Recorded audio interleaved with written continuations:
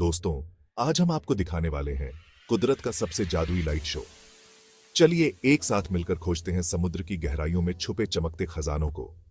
जी हाँ बायोलुमिनेंस समुद्र के अंधेरे में भी ज़िंदगी रोशनी ढूंढ ही लेती है। बायोलुमिनेंस यानी कुदरत की रात की जगमगाहट, ज़िंदा रोशनी का एक अनोखा खेल।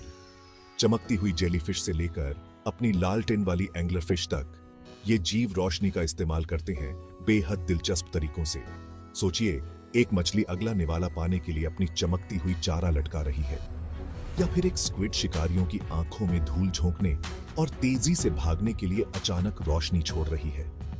कुछ तो अपने आसपास के माहौल में घुल मिल जाने के लिए भी रोशनी का सहारा लेते हैं, अंधेरे में अदृश्य हो जाते हैं। वैज्ञानिकों का मानना है कि गहरे समुद्र के जीव भी बातचीत करने के लिए रोशनी का इस्तेमाल करते हैं, शायद साथी ढूँढने के लिए या खतरे की चेतावनी देने के लिए। ये है पानी के अंदर रोशनी की एक रंगारंग दुनिया, जहाँ हर जीव अपना किरदार निभाता है, इस दिलकश और विविधता से भरे इकोसिस्टम में।